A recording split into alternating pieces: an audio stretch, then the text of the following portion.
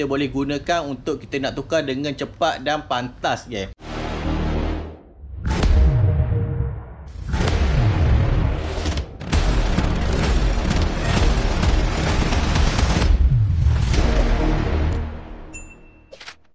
Hai, Assalamualaikum. Bersama saya lagi channel DIY Asal boleh dari WMF Dynamic. Ok kan, pada video kali ni kan Korang nampak kan, pada tangan aku kan Aku nak kongsi dengan korang Aku ada beli satu valve core remover kan Apa dia ni, apa fungsi dia ni? Ok kan Ini adalah tujuan dia untuk kita nak buka service valve pada unit aircon lah Kalau service valve tu dia dah rosak Kalau kita tak nak vacuum balik pipe dan kita tak nak buka dia punya gas ah. Kita tak nak buang dia punya gas. Dan kita just pasang benda ni saja. Inilah dia valve core remover kan okey pada service valve tu selalunya kan pada bahagian input gas dia akan bocor kan okey kan kalau bocor kat situ kan macam mana kita nak buka benda tu kan? Kita dah up gas kan? Kita dah vacuum kita dah up gas tiba-tiba pada bahagian situ geng uh, dia bocor kan. Jadi macam mana kita nak tukar geng? Inilah alat yang kita boleh gunakan untuk kita nak tukar dengan cepat dan pantas geng. Kalau aku tengok dekat sini kan, dia boleh pakai um, Okey geng, dia tulis kat sini kan, kita boleh pakai gas A22 410 404 407. Okey, dia tulis kat sini lah. Tapi memang boleh pakai sebab selalunya sebab valve ada dua saiz saja, alright? Okey, okay, aku buka dulu dia punya body cover ni. Apa dia ni? Kita tengok dia dulu. Okey geng. Uh, dia bagi kita dua geng. Okey. Dua ni. Okey, satu ni eh macam ni. Kat sini kat depan dia ni. Ini adalah to up to two ah. Dan satu lagi dia bagi kita satu adapter ni 410 407 ke kan. Okey. Jadi dua saiz lah ada ah. Jadi kita boleh guna mana-mana uh, service valve pun kita boleh pakai lah sebab memang ada dua saiz sahaja ah. Okey guys, jom kita buat pada unit aircon yang aku ada kat belakang ni ya. Aircon okay. aku ni memang ada gas kat dalam dan macam mana aku nak buka nanti aku tunjuk kat korang benda tu dia terkeluar. Okey, jom. Okey kan. Kat sini adalah service valve ah. Okey, untuk 1.5 410 ah gas ni ah. Okey kan. Kalau 410 macam aku cakap tadi kita kena pasang dia punya adapter ni kan. Okey, adapter ni kita just masuk dekat sini kan. Uh, kat dalam ni ada satu service valve ah. Kita nak buka dia punya valve kat dalam ni dan kita nak cabut dia. Okey, macam mana kita nak cabut tanpa kita kunci gas ah.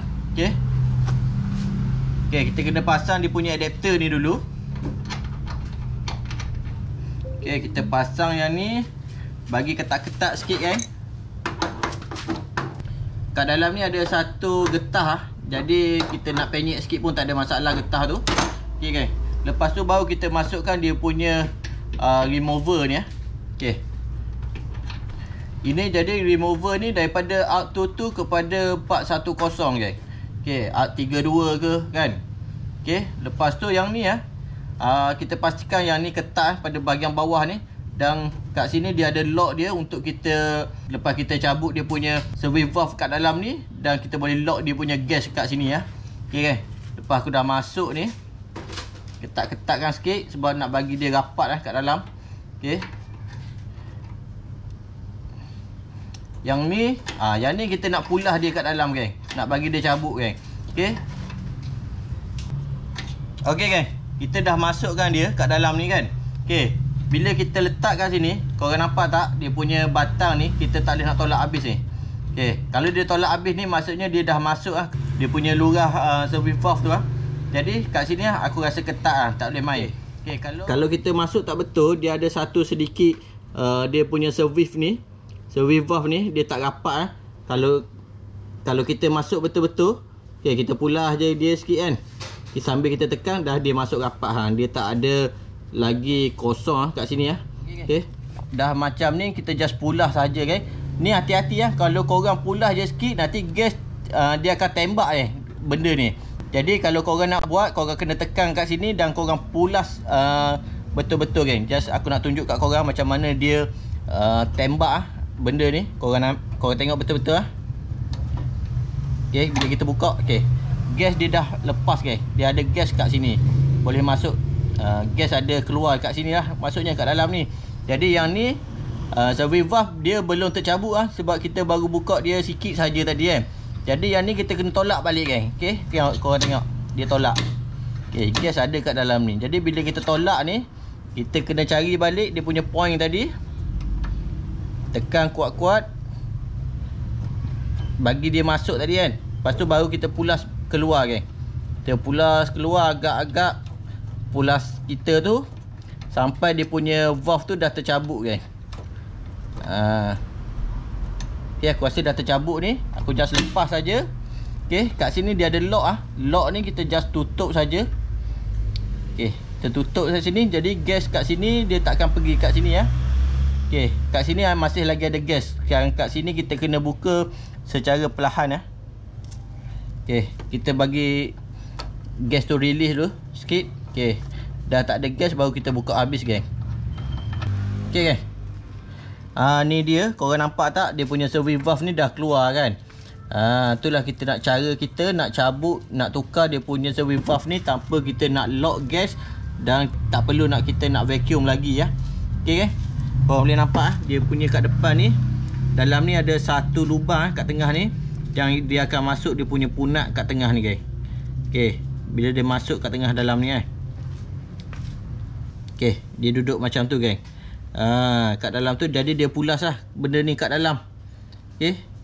Alright geng, aku nak pasang balik. Pasang macam biasa je geng. Tak ada masalah. Masuk saja dan kita tutup yang ni geng. Kita tutup dulu bagi rapat. Dan kita buka ni geng. Okey, buka gas ni. Okey. Kita kena tolak ni agak kuat geng. Kena tolak kuat-kuat sampai dia masuk kan. Sebab tak boleh nak rapat ni. Dia dah rapat masuknya kat dalam ni Dan kita pulas dia Kita pulas dia Sambil kita tekan Okay Sampai dia rasa ketat Dia tak boleh berpusing lagi kan Okay sekarang ni Dah ketat kan Ya Okay kan Kita dah boleh buka dia punya Buka yang ni tu Kita release gas dia Okay gas ni yang ada kat dalam ni guys. Ha, yang ada kat dalam ni dia dah keluar. Jadi kalau berterusang dia keluar, bermakna service valve kat dalam ni dia masuk belum betul lah. Jadi kalau dah tak ada bunyi dah ni, gas tak ada keluar dah, bermakna service valve yang kita pasang ni dah betul guys. Okey, kita dah boleh buka yang ni.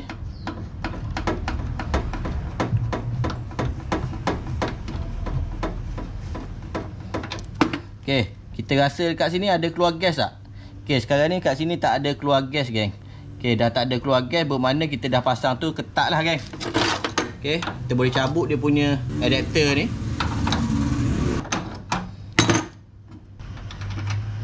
Okey, geng, kita dah cabut dia punya adapter ni. Adapter ni dah dia kita rasa dia ada keluar gas tak kat sini, geng. So far alhamdulillah tak ada keluar gas, geng. Okey, geng, apa pendapat korang tentang valve core remover ni geng. Ah, senang ke tak senang buat kerja geng? Nak kena ada satu geng. Okey, harga pun tak mahal lah. Aku beli dekat Shopee lebih kurang dalam RM60 kot. Okey. Jadi ada satu benda ni memang memudahkan geng. Memang alat ni jarang-jarang kita guna geng. Tapi kalau lah berlaku benda tu geng, memang memudahkan kerja kita geng. Okey geng, itu saja perkongsian aku pada video kali ni. Semoga manfaat pada korang semua. Terima kasih. Assalamualaikum.